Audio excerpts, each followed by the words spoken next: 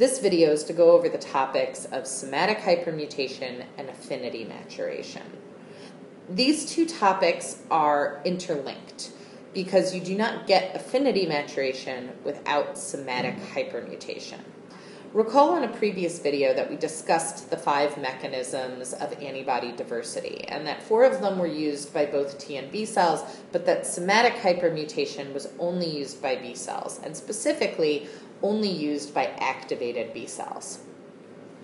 Somatic hypermutation is the process by which mutations are made in the rapidly proliferating B cell within its DNA that encodes for the antigen binding region of the antibodies it will produce.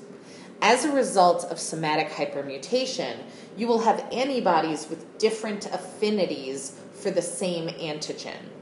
And as antigen becomes limiting, the antibodies that have the highest affinity are the ones that will stick around the longest. Therefore, as your immune response is maturing, as we go further into our immune response, our B cells will actually have a higher affinity for the antigen than what they started with.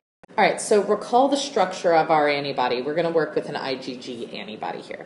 You have your antigen binding regions here, and these are encoded for by gene rearrangements, largely your VD and J on the heavy chain and V and J on the light chain, that have then been added to a constant region. For the um, heavy chain, that constant region is um, FC, or sorry, constant gamma, and for the light chain, it's the constant region kappa or lambda. Now, as we're replicating that B cell in the germinal center, so it's gotten activated, probably hasn't class switched yet, but it could have. But as it's getting activated, you're going to get mistakes because you're going to undergo rapid proliferation. And anytime something replicates really fast, mistakes are introduced. And these mistakes are actually great mutations. So you're going to get random addition of nucleotides. And the only place really that our cells can tolerate these random additions of nucleotides without having either a poor protein expressed or no protein expressed is at the antigen binding sites. The reason is that this is a site that welcomes mutation. So any mutations are really just adding to our diversity.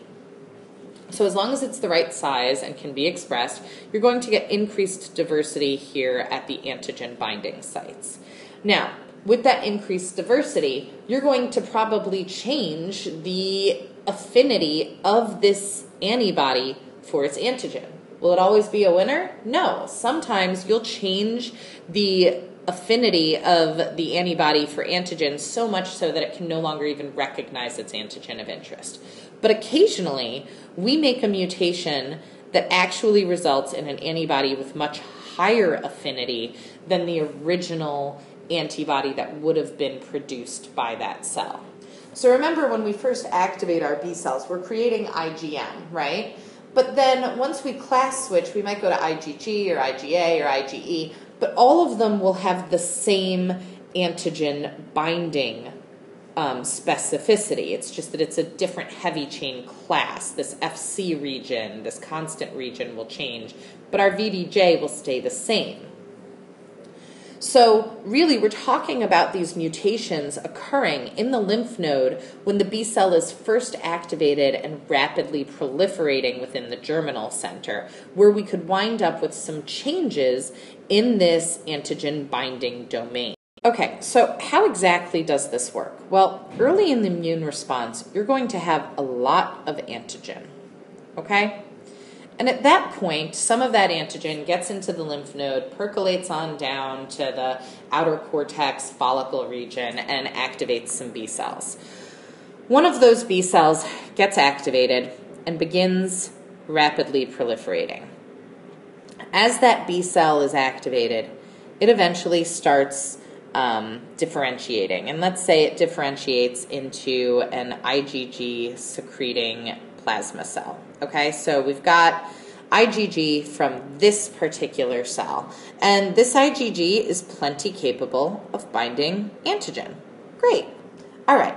But remember, we were replicating this cell really, really fast when it first got activated. And oops, we made a mistake. So now this pink B cell actually is a daughter cell of this black B cell, but it's a little bit different. It made a little bit of a mistake in its antigen binding site. So now instead of its antigen binding site looking like this, its antigen binding site looks like this, with just a little pink edge on it.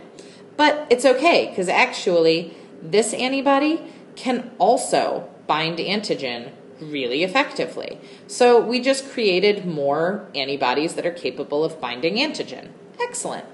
So this B cell also begins rapidly proliferating. And guess what? You get another mistake. You're starting to get the picture here, right? So now we've got this blue B cell, which is kind of like its mother cell, and it's capable of binding antigen, but its antibodies are very different from our initial mother B cell. Okay, so as it differentiated, though, it was capable of binding antigen, so it differentiated into an IgG secreting plasma cell.